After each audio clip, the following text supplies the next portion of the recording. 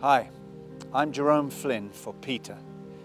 You might also know me as Bronn from Game of Thrones. Now, if you're a fan of the show, you're also likely to be a fan of the dire wolves on it.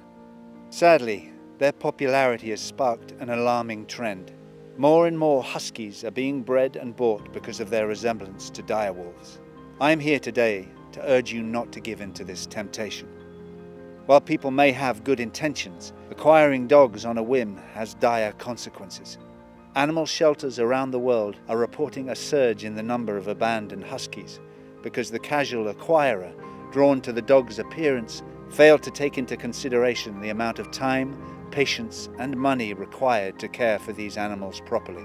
With shelters already bursting at the seams with homeless animals, some of these huskies, like so many other wonderful dogs, will have to be euthanized because there are simply too many of them and too few homes.